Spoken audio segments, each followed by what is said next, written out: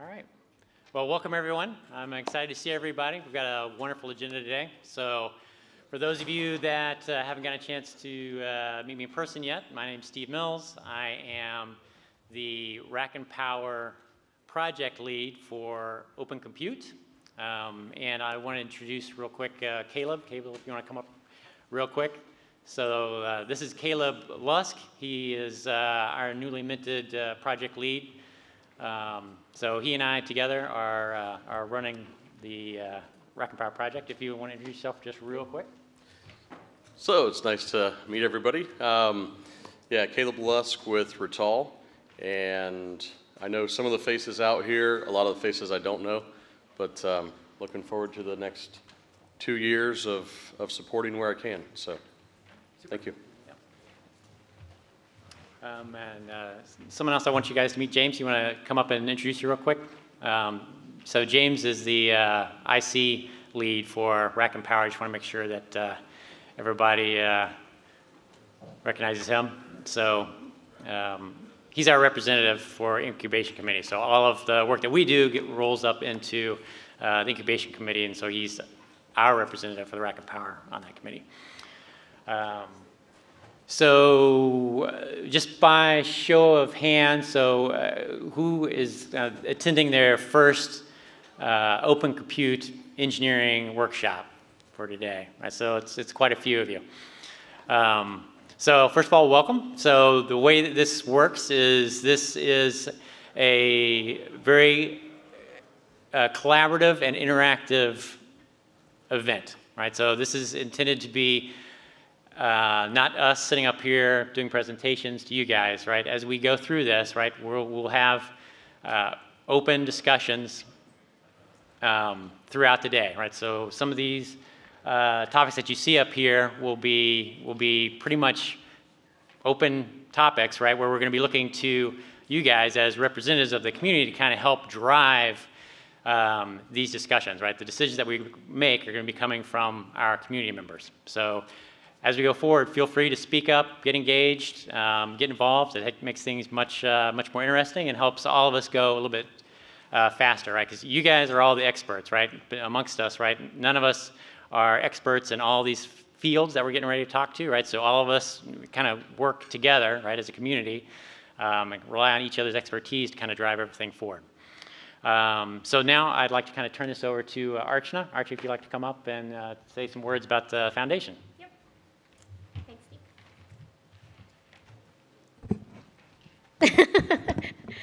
um, can everyone hear me?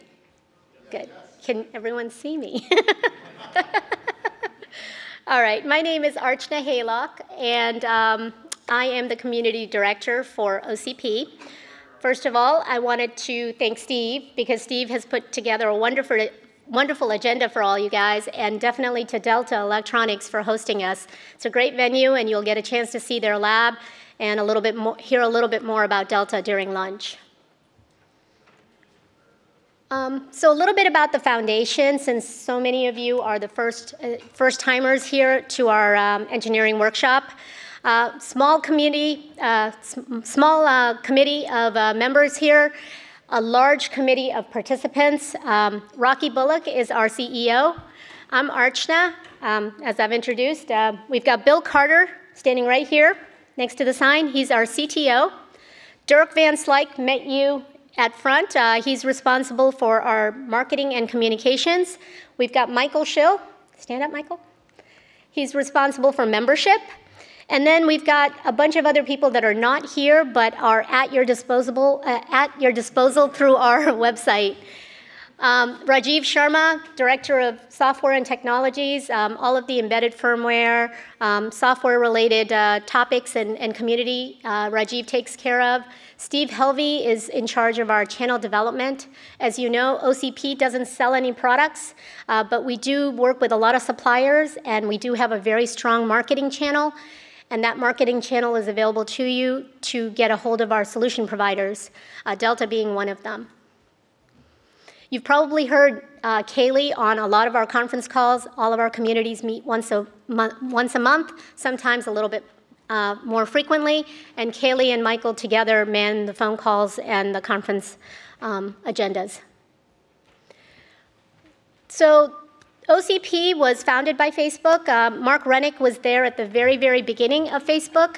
Uh, he left, um, I'm sorry, he was with Rackspace, and he was one of uh, the founding members here of, uh, of the community and uh, of uh, our foundation. He left and then came back. So recently he re- joined us at, um, as our chairman, and he's currently at Facebook now. the, the rest of the representatives, Goldman Sachs, Intel, Microsoft, Rackspace, and then Andy Bechtolsheim is an independent um, uh, foundation board member.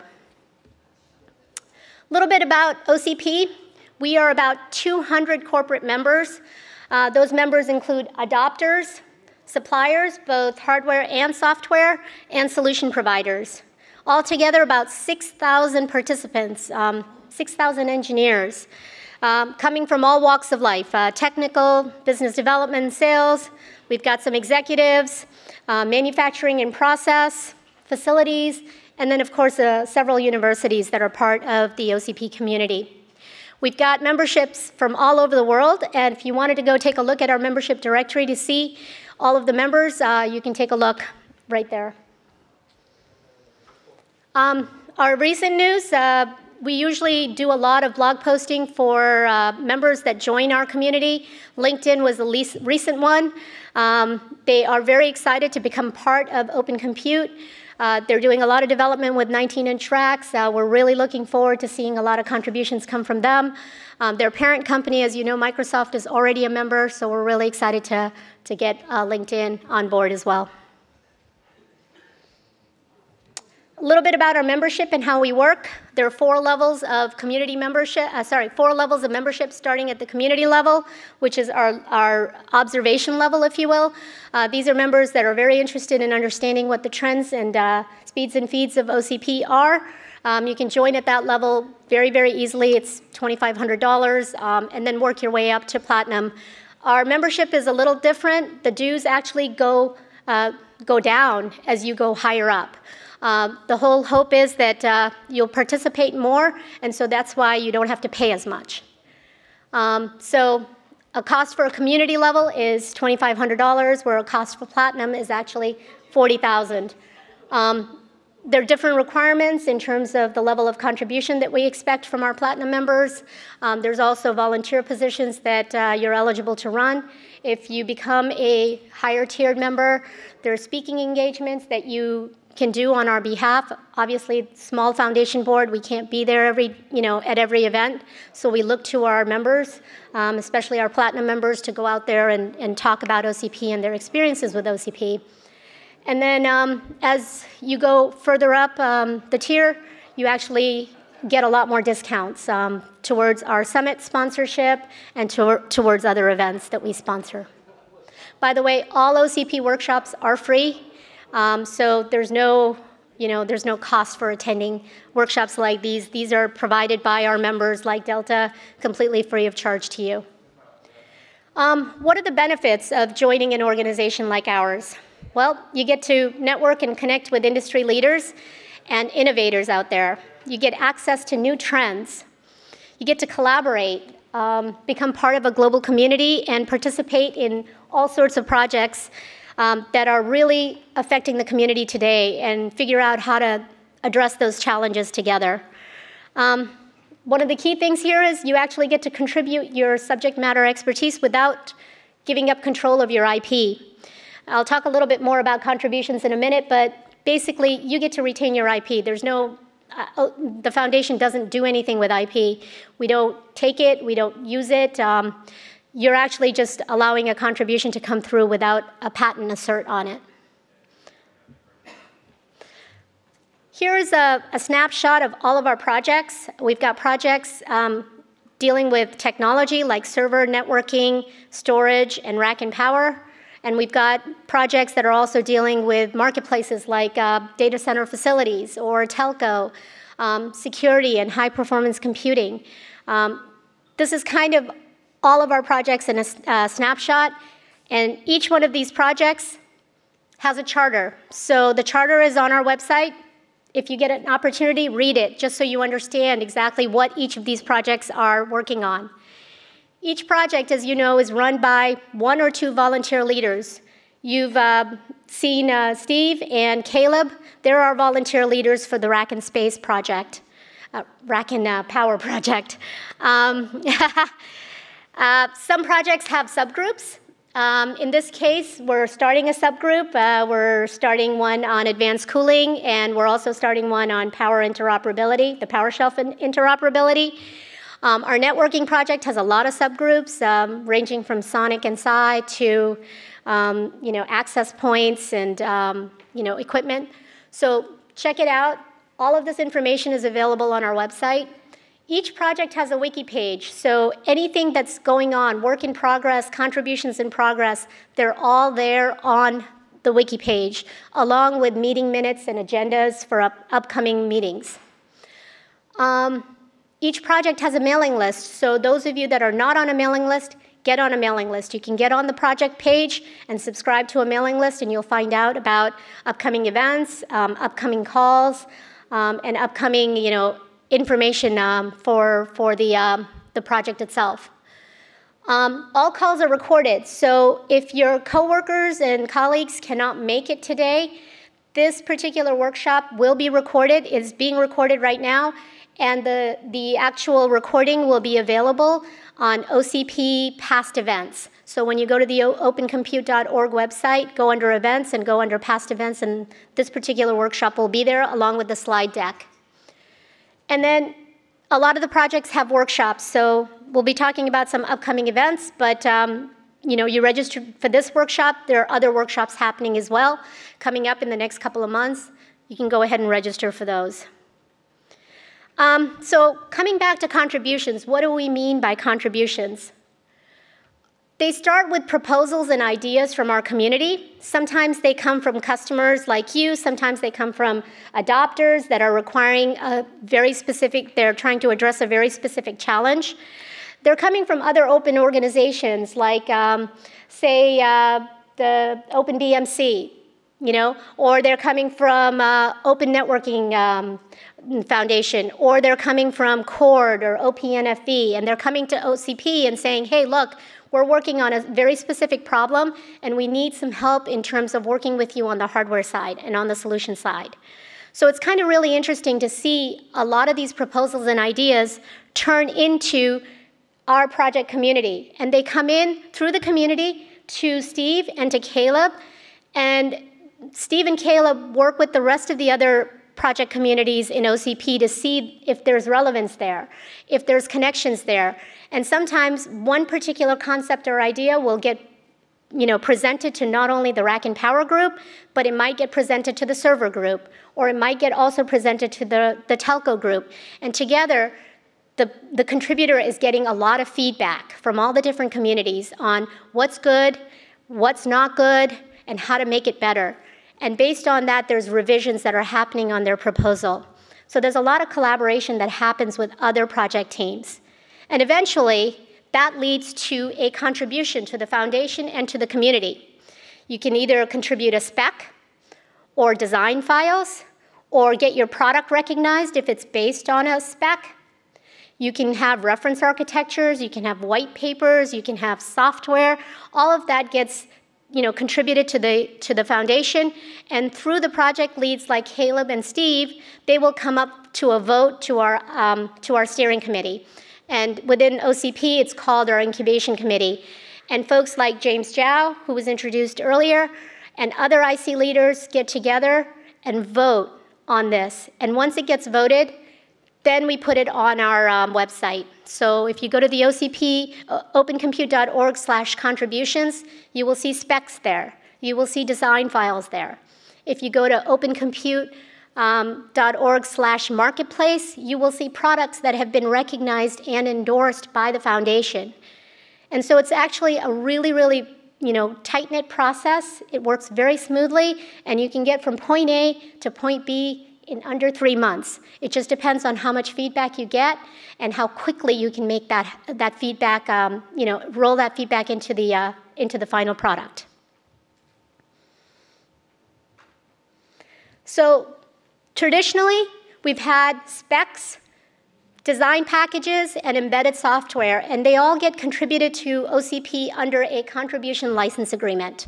And what that means is it's a royalty free patent non assert, meaning that you retain your IP, but what you're doing is ensuring the public that is going to be consuming these specs, consuming these design packages, working with the embedded software, that you're not going to assert any patents on that one spec or that one version of the software. So you retain your IP, and we, the community, get a chance to benefit from your um, know how. Products are not given to OCP, they're simply recognized. So it's a validation program. We go through and we validate that it's based on an open spec and that it's you know out there and ready and somebody can consume it. And so those products again the IP retains with the consumer or with I'm sorry with the supplier or the manufacturer we're, we're simply validating it. So traditionally, specs, design files, and product recognition was, we were, what, was what we were doing. In March of this year, we actually added all of these other things as contributions. So if you're an adopter, you may not have a spec, you may not have a design file, you may not have a product, but you will have a lot of experience using OCP. So you'll have white papers that you can give us. You can give us case studies. You can give us testimonials because other people are, are also looking to adopt OCP and they would want to learn from your experience. Um, we're putting together workshops and summits. Um, we're putting together videos. So we would always look for content for that video and we would love to get content from our community. Wrapping up, wanted to talk about um, some upcoming events so that you can take a, a, quick look at what's going on. As I mentioned, the workshop today is being videotaped. It will be on the OCP website within a week. We're targeting a network engineering workshop. It's late August right now. Target is likely here in San Jose as well. Uh, keep you know, your eye on the OCP event page if you're interested in attending that. It'll be a full day workshop because there's so much going on in that community. Um, likely first half of the day will be um, general event, and then the second half of the day will be broken out into sub-projects. DCD Cloud and Colo is a conference that is held in Dallas, Texas, and we are targeting a day zero workshop there on October 29th. Uh, it's in the planning stages. We're trying to figure out exactly what tracks we need to have, um, you know, which project groups need time face to face to collaborate. And so we're in the process of planning. If you're interested, again, take a look at our website. Um, our IC meetings, these are our, our voting meetings. Uh, they occur every six weeks, so if you're looking at contributing, um, present it to the, the project group first here. You know, talk to Steve or Caleb. They have calls set up, and uh, you can present it to the community, and once you get past them, it'll go before the IC. Um, regional Summit, October 1st and 2nd, we have a regional summit in Amsterdam um, at the RAI Convention Center. It is our first European foray, and it was again from a demand from the community there. There was so many people asking us for something local because they could not travel to our um, annual summit in uh, San Jose. So with that much demand, we're expecting about 1,000 people there. Uh, sponsorships are still available. Registration is open. If you're interested in, um, in registering, please go ahead and do so now. Um, I know hotels are, are, kind of a pain in the butt at that point in time. Um, it's also uh, bookended by the Open Networking Summit the weekend, the week before. So Thursday, Friday of the week before is the Open Networking Summit, and right after our summit is actually the Open Power Summit. So we always try to piggyback on other conferences, especially sister conferences like Open Power or Open Networking, so that people can come and attend one, you know, spend um, their time wisely if they're going to travel. The o OCP Summit is in uh, March, March 14th and 15th. It'll be here at the San Jose Convention Center. Um, right now, if you're planning on sponsoring one summit, you can bundle that uh, together, and we have bundle uh, packages available. You can talk to Dirk right here uh, if you're interested in um, sponsoring that event. And I think that's it from me.